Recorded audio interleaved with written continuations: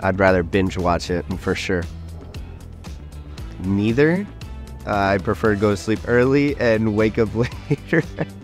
One alarm that gets me out of bed. My wife has multiple alarms and I get mad at her, so I'm sorry. I like to shop online, just get it over with.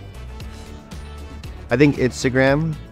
I stay I stay away from TikTok because that's a rabbit hole. Um, but Instagram, uh, I probably spend more time on it because it's less of a rabbit hole. Oh, uh, probably Minnesota if the snow is off the field. I'm a big waffles guy. I don't know, the, for some reason I think the texture is a little bit better.